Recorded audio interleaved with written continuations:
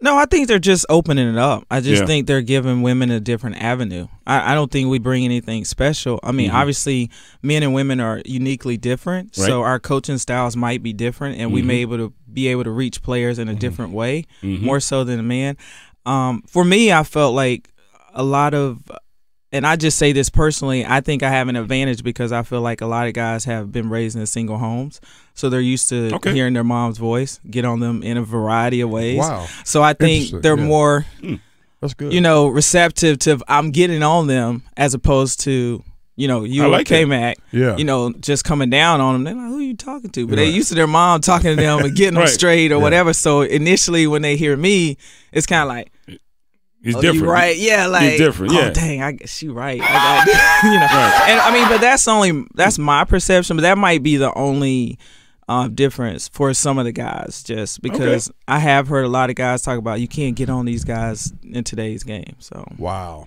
Wow. That's interesting. That's great perspective. Actually, you, you started by saying no, but look, while you talk through it, I mean that that was. But that's my that- personal opinion. I, don't know. I interesting. mean, Yeah, but guys you- but you listen. live- but you- guys but- choose to but you- listen or not. Like, But you're doing it though. That's the key, though. Yeah. You know what I mean? You're, you're actually doing it. You're actually coaching.